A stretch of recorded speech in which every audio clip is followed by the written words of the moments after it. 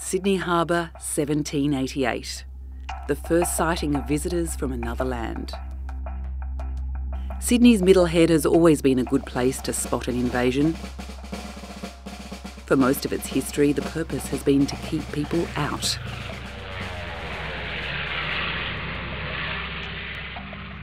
But a unique collaboration between the University of New South Wales and the National Parks and Wildlife Service might just change all that.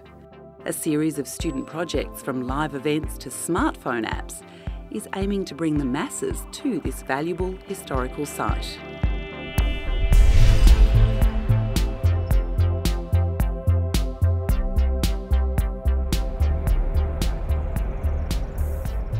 Middlehead itself is extremely significant. It's, um, it's on the State Heritage Register for its exceptional layered group of forts. The oldest fort on Middlehead is actually from 1801 and the last time these were actively used was to train soldiers who were going to um, fight in Vietnam.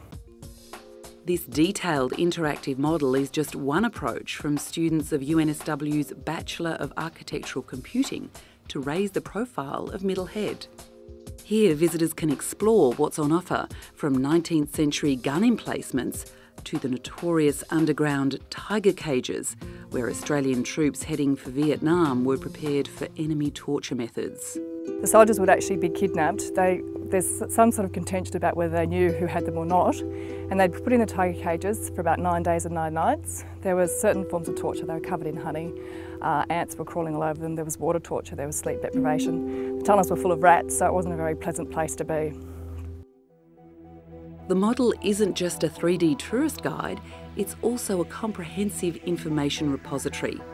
Getting it right required a mix of cutting edge and old school technology. We used satellite imagery provided by Google to first give us a basis of the scale and the proportions and where things fit generally. After that, we just basically got in here and measured it up. We um, took information from previous plans that were available from the national parks. So we wanted this to be as accurate as possible. These structures here, which have a, you know, quite a bit of architectural significance as well as the historical significance, and so it became a, an opportunity for the students to exercise their modelling skills, but at the same time address the uh, National Parks and Wildlife desire to maintain this site, to maintain its integrity as a historical site, but also to encourage visitors to come here and enjoy the amenity of the parkland.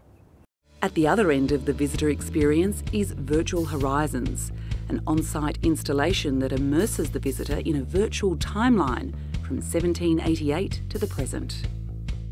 When the visitor first walks into the tunnel, it triggers a sensor that will project images all around them, so on the, the walls, the ceiling, and it'll depict the environment as it actually was in that period in time. We took this approach because we saw the success of events like Vivid Sydney and Sculpture by the Sea around Sydney and wanted to utilise that. It will be a sponsored event, so the money raised um, annually could go towards helping to maintain the site with minimal environmental impact. We don't want to have permanent installations here. We like to keep the site as it is, as a reminder of history. And we want to keep that feeling here. We don't want it to be a, a restaurant or something like that. We want to keep the forts as they are, but use things like this project to help people understand what they're all about and their history. Helping to virtually paint the history of Middlehead's forts is this augmented reality app for smartphones and tablets. Along with information banners, it gives the visitor an idea of the cannons that once protected the harbour.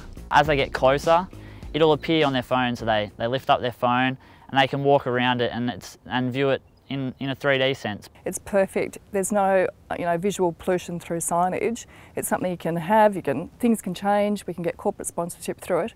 Companies could sponsor a certain site and they could get their logo and their company name put at the bottom here. That way the company benefits from a digital advertising type way and the National Park gets um, a bit of money. Most of the technologies that they brought to bear were things that they discovered themselves and that's really the challenge of the program is for them to uh, learn what is and understand what is at the leading edge of digital technologies, but then to be able to bring them into a problem solving circumstance to actually solve real world problems with a real client. I think it's absolutely fantastic. It's been a really exciting project to be involved in. It's completely different from what we would normally do, but it adds fantastic things for interpretation. So our tour unit can incorporate some of these projects into their tours, which are run every Sunday, um, just to bring the site to life.